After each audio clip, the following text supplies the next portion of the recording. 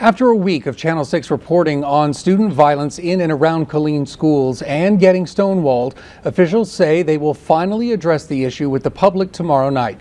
Parents will be able to talk to administrators and city officials at Shoemaker High School about their concerns. Tonight, Channel 6 News reporter Emani Payne spoke with a former student who shared his own experience.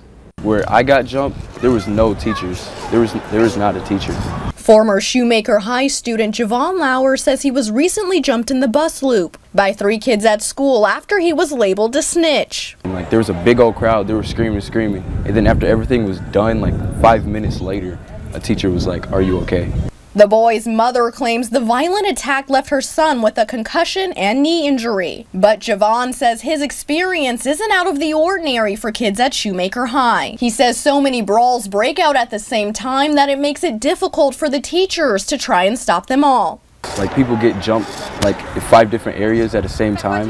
And then like teachers are going like from place to place, but then by the time they get there, it's over. His mother pulled him out of the school the day after the incident, saying she was concerned for his safety. I cannot put into words how mad I am that these children are still in class, going to school only to fight and make videos for Instagram, while my son is missing his education. The mother says she's thinking of alternative learning options for her child and she's not alone. This online poll shows other parents in the district considering alternative options in response to the fights as well. But many hope tomorrow's town hall discussion might ease some of their concerns. Reporting in Killeen, Emani Payne, Channel 6 News.